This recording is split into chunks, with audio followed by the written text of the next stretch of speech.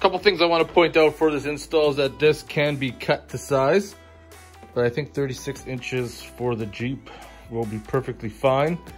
There's going to be some modifications we're going to do. Um, what's shown in the instructions and what exactly I'm going to do. I'm going to show you one of the issues that I found already.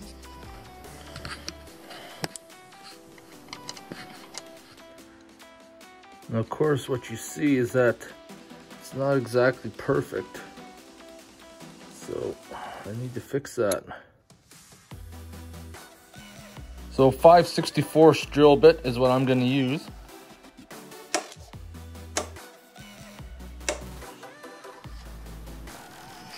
So now I got my mark.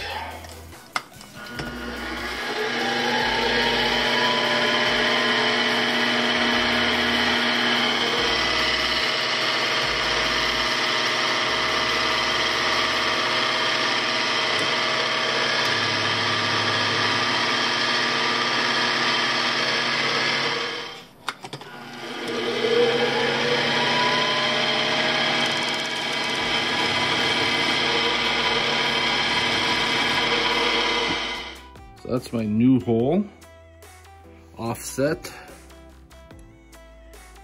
And now you can see I'm in the center now, so that's gonna work a lot better than how it came from the factory.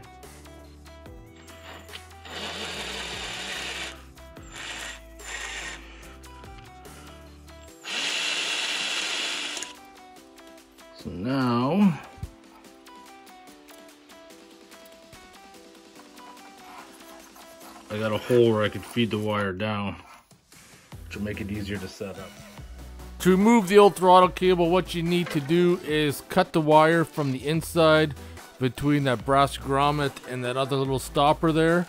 And then to remove the physical cable, just pinch the sides and then push it through, then you'll just be able to pull it out. Now we're ready to install the new one.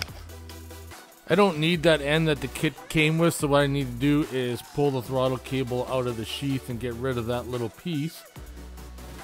And then hopefully that it'll be able to feed back in without any issues. The next little problem is that the throttle cable hole was actually quite large. So I grabbed some washers that weren't included with the kit. So you need two of those. Plus I'm using the foam little rubber grommet or whatever foam pad that came with. And then I bolted it through the firewall there as you can see. Now we're ready to feed the cable back through. Feeding the cable back in is obviously relatively pretty simple to do. One thing I do got to point out in case you're curious, it goes through that brass grommet and then goes through that part in the wall there. So this isn't a big deal here, but the LS bracket there, the throttle cable bracket is won't work properly with the fitting. So once again, I used a couple washers and feed your throttle cable through onto the little sheath there. And then tighten up that nut. I believe this kit was 9 16 wrench. You can fine tune adjust it afterwards. And now one of the things you want to do is make sure that it's centered going through. And in order to tighten it up, you need to pull the throttle cable tight while throttle's in its relaxed position and then tighten her down.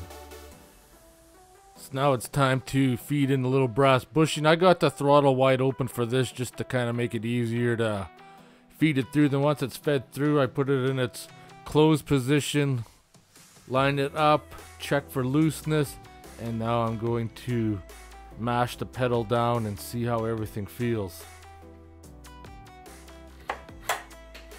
So the pedal feels okay, but as you can see in the video footage, still a little bit of slack in the cable that we could pull out yet. When you get to this part of finally setting up the pedal, you'll figure out your own method on doing this. Right now I'm just kind of feeling it, giving a little light tugs just to see how much more pedal I could suck out of it and then pulling down on the wire. Kind of gently giving a little couple pulls so all the slack is pulled out of it and then gonna lock it down. So you can see right there it looks a little bit better throttle cable's a little bit more tighter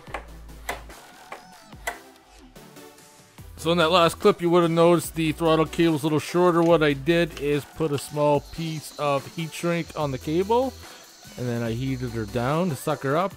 And then I use a pair of pliers to cut it. That way the wire will not fray. And also since it's cut, it's not interfering with nothing. So now the throttle can move freely. And there you have it. We're all done, looking good. One last project to worry about. So I hope this video helped you out in doing the throttle cable for your LS swap in your Jeep. I used a 36 inch cable and it worked out for me. So I'll see you guys in the next video.